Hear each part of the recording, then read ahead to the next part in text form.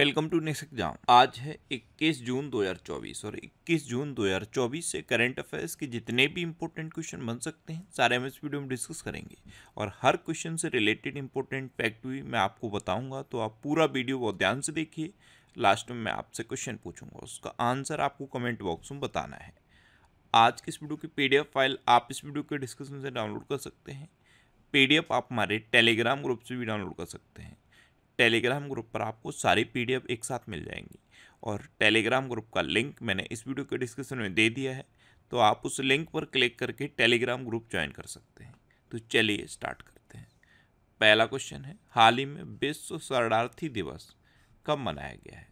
तो अभी बीस जून को विश्व शरणार्थी दिवस, यानी कि वर्ल्ड रिफ्यूजी डे मनाया गया। तो उस क्वेश्चन का बे ऑप्शन सही है।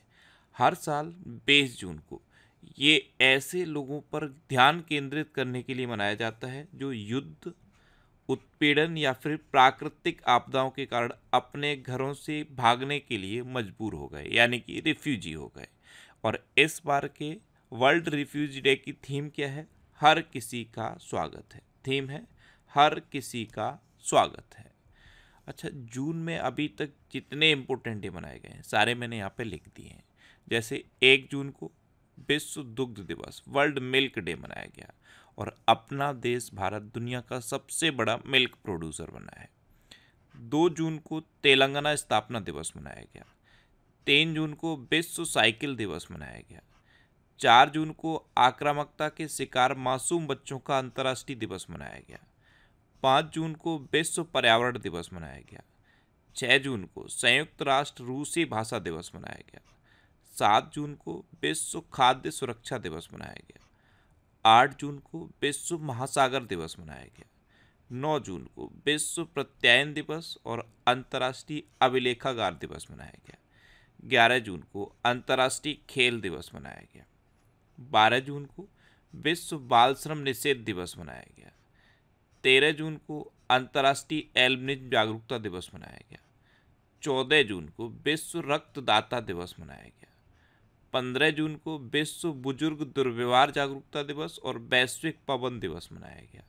सोलह जून को अंतर्राष्ट्रीय पारिवारिक प्रेषण दिवस मनाया गया। सत्रह जून को विश्व मरुस्थलीकरण और सूखा रोकथाम दिवस मनाया गया। अठारह जून को सस्टेनेबल गैस्ट्रोनोमी डे मनाया गया और 19 जून को संघर्ष और यौन हिंसा के उन्मूलन के लिए अंतर्राष्ट्रीय दिवस मनाया गया। तो जून में अब तक इतने इम्पोर्टेंट डे मनाए गए नेक्स्ट क्वेश्चन है। हाल ही में सुरमा पाड़ी किस राज्य की विधानसभा की दूसरी महिला अध्यक्ष बनी है। तो ये उड़ीसा विधानसभा की दूसरी महिला अध्यक्ष बनी है सुरमा पाड़ी। तो इस क्वेश्चन का बे ऑप्शन सही है। ये हैं बीजेपी की सीनियर लीडर सुरमा पाड़ी और यही उड़ीसा विधानसभा की दूसरी महिला अध्यक्ष बनी है। अच्छा उड़ीसा की बनी है दूसरी। पहली कौन थी? प्रमिला मलिक, ये उड़ीसा विधानसभा की पहली महिला अध्यक्ष बनी थी और दूसरी अब सुरमा पाड़ी बन गई हैं। अच्छा केंद्रीय मंत्री धर्मेंद्र प्रधान ने उड़ीसा के संबलपुर में भारत के पहले स्किल इंडिया सेंटर का उद्घाटन किया था। उड़ीसा सरकार ने स्वयं योजना लॉन्च की है। उड़ीसा में गुप्तेश्वर वन को जैव विविधता विरासत स्थल घोषित किया गया है। और भुवनेश्वर में बारामुंडा आईएसबीटी का नाम, बे आर अंबेडकर के नाम पर रखा जाएगा। अच्छा मैप में भी देख लो। ये है उड़ीसा। उड़ीसा की कैपिटल क्या है? भुवनेश्वर। उड़ीसा के अभी नए चीफ मिनिस्टर कौन बने हैं?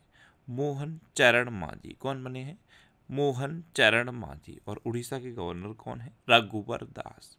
अच्छा उड़ीसा में है वेलर द्वीप और वेलर द्वीप का नाम बदल के ए पी जे अब्दुल कलाम द्वीप रखा गया। उड़ीसा दिवस या उत्कल दिवस कब मनाया जाता है? एक अप्रैल को। अच्छा उड़ीसा में रसीकुलिया बीच है, गोल्डन बीच है। सुनावेडा वाइल्ड लाइफ सेंचुरी है, कोठागढ़ वाइल्ड लाइफ सेंचुरी है, नलबन वाइल्ड लाइफ सेंचुरी है, बैसीपल्ली वाइल्ड लाइफ सेंचुरी है गहिर मठ वाइल्ड लाइफ सेंचुरी है और चिल्का लेक है। और चिल्का लेक भारत की सबसे बड़ी खारे पानी की लेक है। नए क्वेश्चन है, हाल ही में कैबिनेट ने किस राज्य के वधावन में एक प्रमुख बंदरगाह के विकास को मंजूरी दी। तो ये छिहत्तर हज़ार दो सौ बीस करोड़ रुपए की परियोजना है और ये महाराष्ट्र में एक प्रमुख बंदरगाह के विकास की परियोजना है। तो उस क्वेश्चन का सी ऑप्शन सही है। महाराष्ट्र के वधावन में एक प्रमुख बंदरगाह का विकास किया जाएगा और ये छिहत्तर हज़ार दो सौ बीस करोड़ रुपए की लागत से होगा। वधावन बंदरगाह और ये वधावन जो बंदरगाह है, ये एक ग्रीन फ़ील्ड बंदरगाह होगा। ये है वधावन बंदरगाह। नेक्स्ट क्वेश्चन है, हाल ही में टी ट्वेंटी इंटरनेशनल में दूसरे सबसे तेज सौ विकेट लेने वाले गेंदबाज कौन बने हैं? तो नेपाल के गेंदबाज हैं संदीप लामिछाने। ये टी ट्वेंटी इंटरनेशनल में दूसरे सबसे तेज सौ विकेट लेने वाले गेंदबाज बने हैं। इन्होंने चौवन टी ट्वेंटी इंटरनेशनल मैच में ये सौ विकेट लिए हैं और ये दूसरे सबसे तेज गेंदबाज बन गए हैं। पहले कौन है? पहले हैं अफ़गानिस्तान के राशिद खान। इन्होंने सिर्फ़ तिरपन मैच में, सिर्फ़ तिरपन टी ट्वेंटी इंटरनेशनल मैच खेले और सौ विकेट लिए थे। और ये जो संदीप लामिछाने हैं, इन्होंने चौवन मैच में ये सौ विकेट लिए हैं। ये हैं संदीप लामिछाने, ये नेपाल के गेंदबाज हैं। नेक्स्ट क्वेश्चन है। हाल ही में 112वां अंतर्राष्ट्रीय श्रम सम्मेलन कहाँ आयोजित किया गया? ये जिनेवा में आयोजित किया गया है। तो उस क्वेश्चन का सी ऑप्शन सही है। वर्ल्ड लेबर ऑर्गेनाइजेशन के द्वारा 112वां अंतर्राष्ट्रीय श्रम सम्मेलन अभी जिनेवा में आयोजित किया गया। नेक्स्ट क्वेश्चन है। हाल ही में किस राज्य के हाई कोर्ट ने पैंसठ प्रतिशत आरक्षण के फैसले को रद्द कर दिया?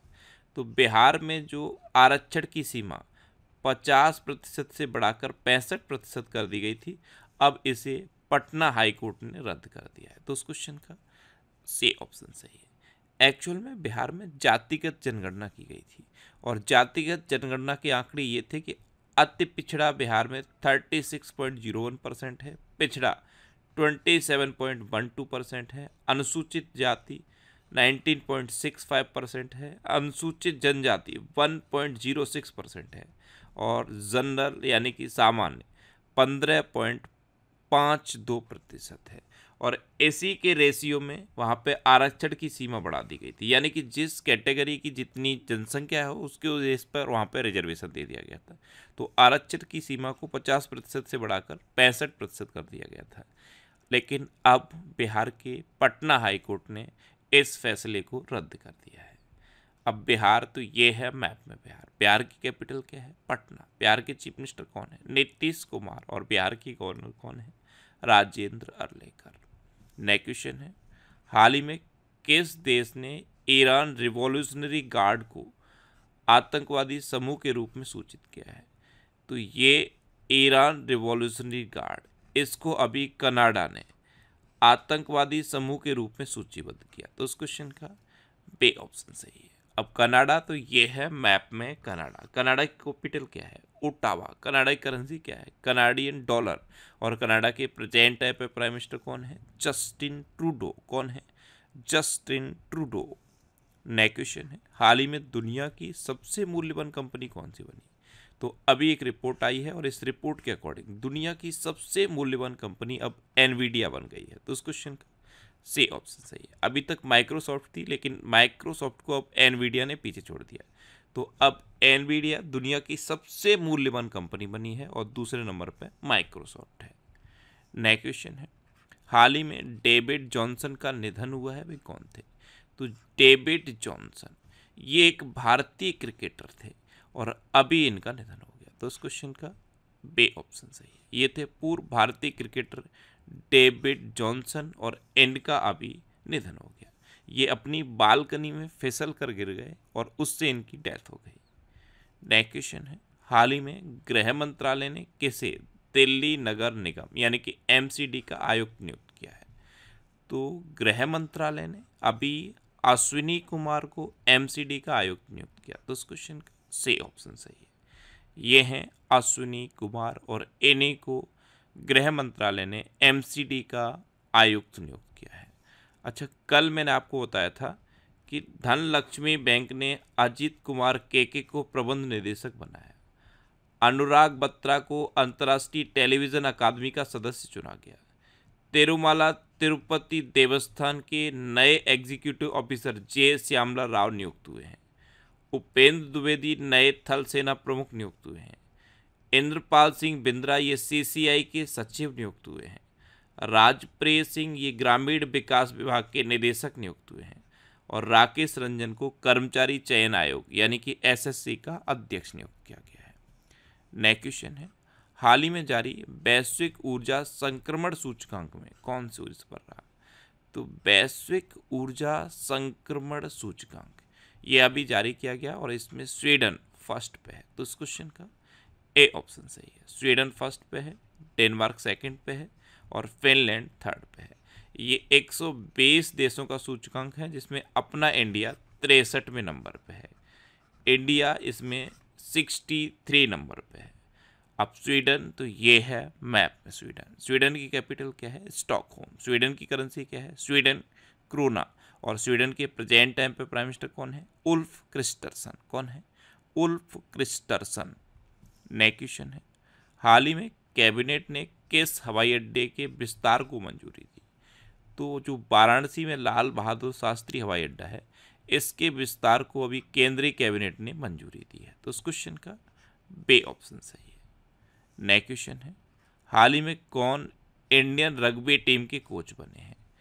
तो इंडियन रग्बी टीम इसके कोच बने हैं वैसाले सेरेवी। तो इस क्वेश्चन का सी ऑप्शन सही है। ये हैं वैसाले सेरेवी और यही इंडियन रग्बी टीम के कोच बने हैं। नेक्स्ट क्वेश्चन है, हाल ही में किसे U N H C R का वैश्विक सद्भावना राजदूत नियुक्त किया गया? तो एक ब्रिटिश अभिनेता है थियो जेम्स इनको अभी U N H C R का वैश्विक सद्भावना राजदूत नियुक्त किया गया। तो उस क्वेश्चन का सी ऑप्शन सही है। नेक्स्ट क्वेश्चन है। हाल ही में भारतीय टेनिस टीम ने ब्रिक्स खेलों में कौन सा पदक जीता है? तो भारतीय टेनिस टीम ने अभी ब्रिक्स खेलों में कांस्य पदक जीता? तो उस क्वेश्चन का पे ऑप्शन सही है। अब लास्ट वीडियो के क्वेश्चन का आंसर लास्ट वीडियो मैंने आपसे क्वेश्चन पूछा था कि दसवां अंतर्राष्ट्रीय योग दिवस 2024 कहाँ आयोजित किया जाएगा? ये श्रीनगर में आयोजित किया जाएगा। यानी कि इस क्वेश्चन का? पे ऑप्शन सही था और लगभग सभी स्टूडेंट ने इसका आंसर सही दिया। मोस्टली स्टूडेंट ने इसके बारे में डिटेल में लिखा, मैं आपको एक बार फिर बोलूँगा। क्वेश्चन के बारे में आपको जितना ज़्यादा से ज़्यादा पता हो, आप लिखा करो। क्योंकि जो चीज़ें आप लिख देते हो, फिर उन्हें आप कभी नहीं भूलते। अच्छा इस तरह से आप डिटेल में आंसर लिखा करो। जैसे इसका आंसर था श्रीनगर, और श्रीनगर के बारे में जितना भी आपको पता है, सब आप लिख दो, क्योंकि जो चीज़ें आप लिख दोगे, फिर उन्हें आप कभी भूलते नहीं हो। ये मैंने जून के सेकेंड वीक का, और ये जून 2024 के फ़र्स्ट वीक का। दोनों वीक के वीकली करंट अफेयर्स की वीडियो बनाती हैं। वीकली वीडियो देखने से होता क्या है, पूरे वीक के करंट अफेयर्स आपको रिवाइज हो जाते हैं। और जब एक बार कोई चीज़ रिवाइज हो जाती है तो सिक्सटी परसेंट ज़्यादा एफिशिएंसी से वो याद रहती है। तो ये जो बेकली वीडियो है, इनको आप देख लिया करो। जैसे संडे को अगर आपको टाइम नहीं मिलता तो किसी भी दिन टाइम निकाल के, लेकिन बेकली वीडियो देख लो। बेकली वीडियो देखोगे अगर आप तो पूरे बेक के रिवीजन होंगे और चीज़ें बहुत बेहतर तरीके से आपको याद रहेंगी। तो ये दोनों बेक का वीडियो आप देखिए और देखने के बाद कमेंट बॉक्स में बताना कि ये वीडियो आपको कैसे लगे। अच्छा इन दोनों वीडियोस की, यानी दोनों बेक्स की मैंने पीडीएफ, नेक्स्ट एग्ज़ाम के टेलीग्राम चैनल पर अपलोड कर दी है। टेलीग्राम पे आप नेक्स्ट एग्ज़ाम सर्च करोगे और आपको ये चैनल मिल जाएगा। यहाँ पे मैं डेली क्विज भी पोस्ट करता हूँ और क्विज का आंसर, जैसे अगर आपने सही आंसर सेलेक्ट किया तो ग्रीन हो जाएगा और सपोज़ आपने गलत आंसर सेलेक्ट कर लिया तो यहाँ पे एक बल्ब का निशान बन के आएगा। जैसे ही आप इस निशान पर क्लिक करोगे, इस क्वेश्चन का पूरा एक्सप्लेनेशन आपको मिल जाएगा, यानी कि कौन सा आंसर सही है और क्यों सही है। इससे क्या तो होता है क्वेश्चन का सही आंसर भी पता चलता है और क्यों सही है ये भी पता चलता है। तो ये क्वेज अगर आप रेगुलर अटैम्प्ट कर रहे हो तो बहुत अच्छा है और अगर नहीं कर रहे हो तो इनको रेगुलर अटैम्प्ट करो। इससे भी क्वेश्चन की प्रैक्टिस बनी रहती है क्योंकि देखो, पढ़ने से ज़्यादा इंपॉर्टेंट होता है प्रैक्टिस करना। अगर आप कम्पिटेटिव एग्ज़ाम की तैयारी कर रहे हो, नॉर्मल किसी एग्ज़ाम का आपको पेपर देना है, जैसे B Ed B T C ये जो एग्ज़ाम देने हैं, इनमें क्वेश्चन की प्रैक्टिस इतनी ज़्यादा वैल्यू नहीं रखती। लेकिन अगर आप कंपटीशन की तैयारी कर रहे हो तो पढ़ने से ज़्यादा इंपॉर्टेंट होता है क्वेश्चन की प्रैक्टिस करना। इसीलिए मैंने ये क्विज पोस्ट करना शुरू किया है। तो नेक्स्ट एग्ज़ाम का टेलीग्राम चैनल ज्वाइन कर लो और यहाँ पे सारे क्विज आप अटैम्प्ट करते रहो। आपके क्वेश्चन की प्रैक्टिस बनी रहेगी।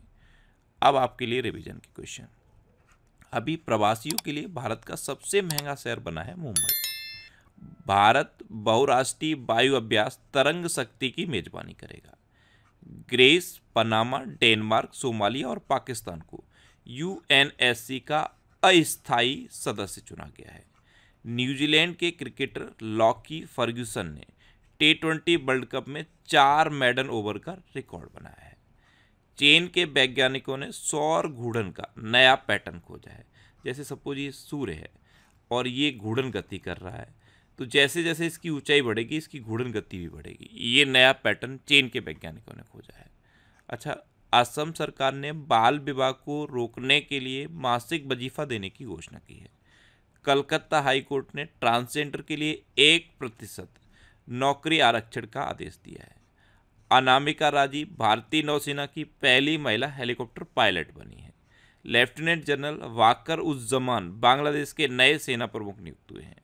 भारत और जापान के बीच समुद्री अभ्यास जिम मैक्स का आठवां चरण शुरू हुआ है।